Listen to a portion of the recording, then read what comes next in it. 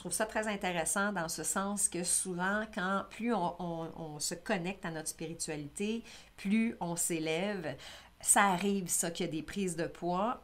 Ça nous sert d'une certaine façon de protection, comme si on avait besoin d'une barrière de protection.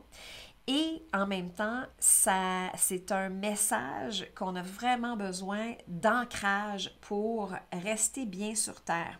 La prise de poids dans un aspect spirituel est liée souvent à une tentative de trop vouloir s'élever ou de s'élever, de flyer, de, de, devenir perché. Et pour nous garder dans la réalité, le poids le, nous garde au sol ce qui n'est pas nécessaire. Donc, vous n'avez pas besoin de prendre du poids pour être bien ancré, mais travaillez beaucoup sur l'ancrage à chaque matin. Travaillez avec une affirmation aussi pour dire, par exemple, je suis bien ancré dans la réalité, je peux conserver un poids santé. Je suis bien ancré dans la réalité et je peux conserver un poids santé tout simplement. Travailler avec cette affirmation-là.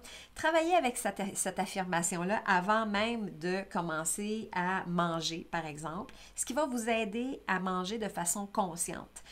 Placez les mains au-dessus de votre assiette pour dire merci de ce que vous avez et que tout ce que vous mangez n'est simplement que pour vous nourrir.